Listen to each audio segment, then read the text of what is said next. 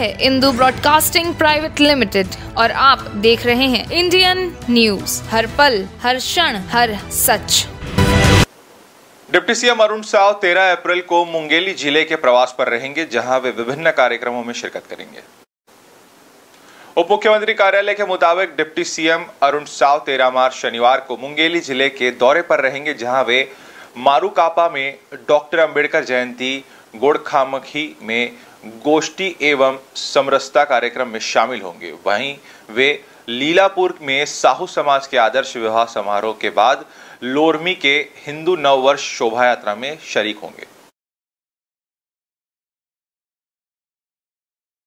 New videos की update पाने के लिए सब्सक्राइब करें इंडियन न्यूज़ को और बेल आइकन को दबाएँ।